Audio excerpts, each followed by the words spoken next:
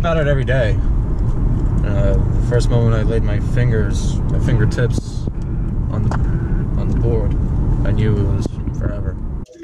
Yo, what are you drawing? Oh, just a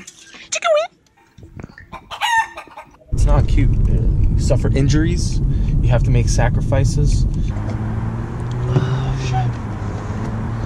See my fingerboard anywhere? Uh, I think it's like right up here in your hat. Yeah, yeah, yeah. Awesome.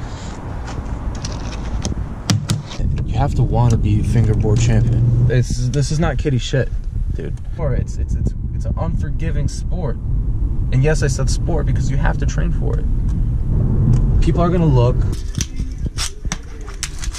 People are gonna stare. People are gonna ask questions. Why do you do that? How old are you? Whoa! Wow! Wow! It's all good, man. Sales reps will have issues with the fingerboarding. 5360, Okay, cool. sir.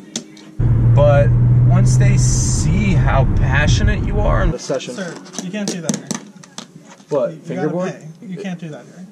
that you're really about it, that you're not just some twerp that's trying to cause a ruckus. Dude, it's It's just, it's just- cool. He's cool. Yeah, but just let it go. Just one trick, one more trick, please. No. No, They usually step back and they admire it. You can't bring that here. You're gonna pay. I'm gonna pay. Just one more trick, please, please. You're gonna have to leave. come on, let's, Like, let's go. pay, Come on, come on.